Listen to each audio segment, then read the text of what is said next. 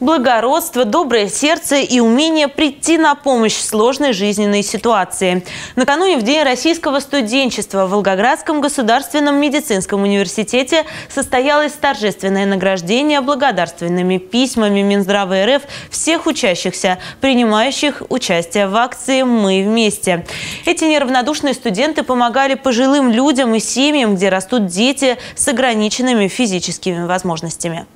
Неравнодушные студенты, помогавшие пожилым людям, семьям, где растут дети с ограниченными физическими возможностями. Они привозили лекарства и продукты первой необходимости. Олег Трапезников начал свою деятельность в качестве волонтера. За все время добровольчества он участвовал в развертывании инфекционных госпиталей и доставке продуктов нуждающимся волгоградцам. Работали средним и младшим медицинским персоналом в ковидных госпиталях. То, что мы помогали бороться ну, с новой коронавирусной инфекцией. Я считаю, это долг каждого врача помогать нуждающимся. А вот Эльвира Покручина работала в инфекционных госпиталях Урюпинска и Калача-на-Дону. Было очень страшно, на самом деле, даже охватила нас паника. Вот первые, наверное, 10 минут было тяжело дышать, вот это очки на нас давили, все вот это было так неудобно.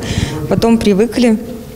А, вот. Мы ставили капельницы, делали уколы, раздавали таблетки. Совершенно бескорыстно студенты привозили пожилым людям, а также семьям, где растут дети с ограниченными физическими возможностями, лекарства и продукты первой необходимости. Труд молодых людей отметил ректор Волгоградского государственного медицинского университета Владимир Шкарин. Получаете самую престижную профессию, она самая сложная, она, естественно, с элементами, наверное, вот сегодняшней жизни, элементами героизма но у вас точно это все получается, потому что талантливый человек, он во всем талантлив, поэтому, наверное, не случайно все ваши достижения таковы.